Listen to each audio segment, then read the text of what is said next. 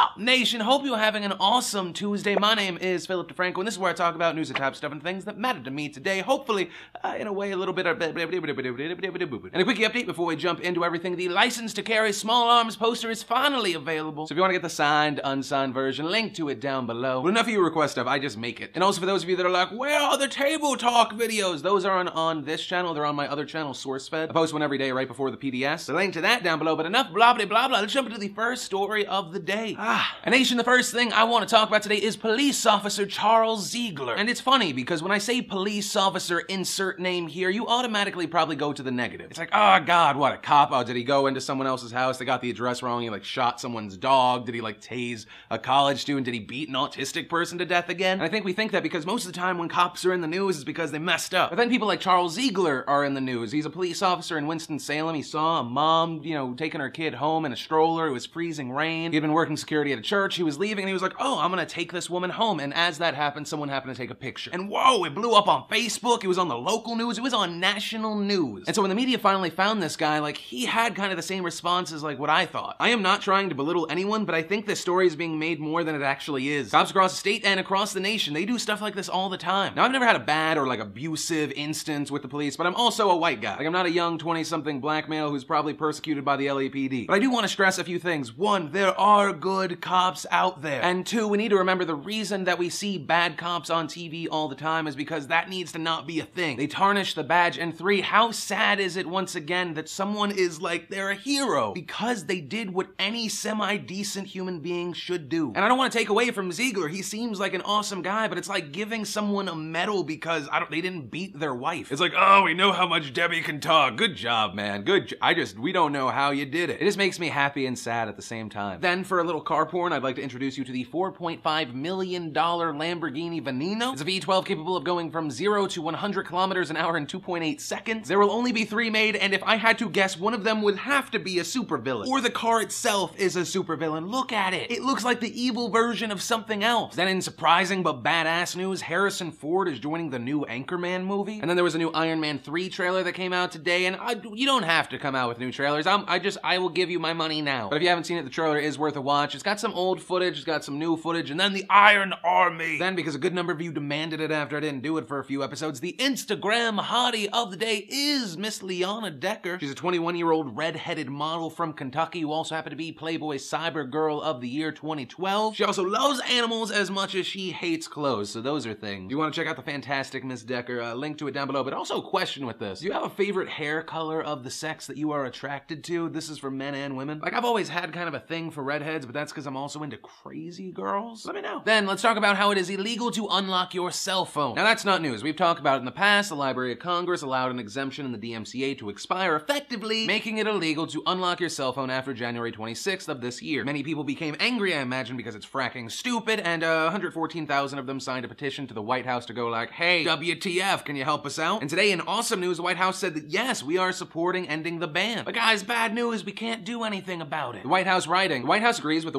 114,000 plus of you who believe that consumers should be able to unlock their cell phones without risking criminal or other penalties. In fact, we believe the same principle should apply to tablets, which are increasingly similar to smartphones. And if you have paid for your mobile device and aren't bound by a service agreement or other obligation, you should be able to use it on another network. It's common sense. Okay, well, who can do something? Well, okay, what about what about the Library of Congress? What did they say? Well, they also released a statement that kind of makes you squint and go, what? Saying, we also agree with the administration that the question of locked cell phones has implications for telecommunications policy, and that it would benefit from review and resolution in that context. Or in simpler but just as vague words, uh, the things that you said do affect stuff, so we are going to, at some point in the near future, possibly look at the things that do affect stuff. But what they're all really saying is, yeah, you should own the things that you bought. You paid money for it and then ended your contract, whether by cancellation and then paying fees or like you waited it out. And somehow, in the ignorance that is sluggish government, you can't modify your own property. But someone should totally get on that at some point. Then in badass tech news, researchers at Brown University have succeeded in creating the first wireless implantable, rechargeable, long-term brain-computer interface. Ah!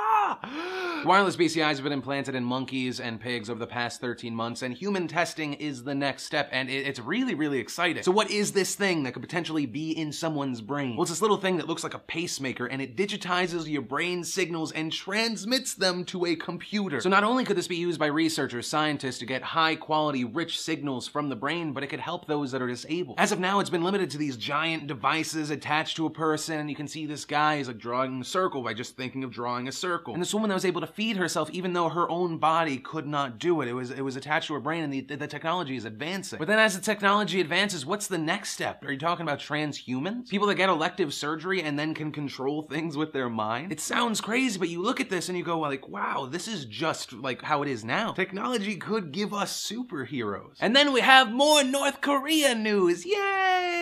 It seems that Dennis Rodman visiting North Korea has not stopped anything. I just thought it would somehow help, said no one ever. Today, North Korea vowed to cancel their 1953 ceasefire, which kind of ended the Korean War, but not really. Technically, they're still in a state of war. They cited the reason for this being the US-led push for punishing United Nations sanctions over its recent nuclear tests, and the ongoing US-South Korea military drill. And that draft of the sanctions will be circulating in the UN this week. North Korea added, we aim to launch surgical strikes at any time and any target without being bound and advance our long-cherished wish for national unification. But the main thing that I see is just, it's more threats, more threats. It's just a lot of the same from North Korea. The only thing that's different, there are more nuclear tests right now. It's really just a question of how long will China back and like help North Korea, its little buddy. Because as of right now, I think that there are a lot of Americans that are just tired of war. Afghanistan, Iran. We haven't felt like there was a real bad guy since 9-11. And then in walks Kim Jong-un. A tiny little bitch of a man who has daddy issues, a Napoleon complex, who gives himself titles like it's gonna add inches to his little dick. Just be careful what you wish for. And nation, the last thing we have to talk about today is at the age of 58, Hugo Chavez is dead. The self-described champion of the poor and the president of Venezuela since 1999 died after battling cancer for two years. We learned this from Vice President Nicolas Maduro after many people had been protesting, demanding to know how Chavez was. And the reactions have been all over the place. Some people sad. Obviously, Chavez was a huge thorn in America's side, so a lot of people happy. But the main thing I wonder now is what will happen with U.S.-Venezuela relations? Will it start new conversations? Will it open doors? Or will it be like Kim Jong-il to Kim Jong-un? Same thing, different day. We'll see. And if you had an opinion on Chavez, let me know what it was and why. But nation, that's really everything I wanted to talk about. It brings us to the question of the day today, which is, do you think we should ever limit human advances? Like, do, do you get freaked out by the idea of transhumans? Do you think there are things science should not do? If you think, yeah, that science should stop, why? If you say no, keep it going, why? Let me know. Remember to possibly get pelted with stuff from my website, forhumanpeoples.com. Leave a comment down below, join the conversation, maybe hit the like button, favorite if you really like it. And a big thanks to the sponsor of today's show, netflix.com slash philly D. You use that URL, you get a free month of instant streaming movies. But, of course, as always, my name's Philip DeFranco. You've just been filled in. I love yo faces, and I'll see you tomorrow.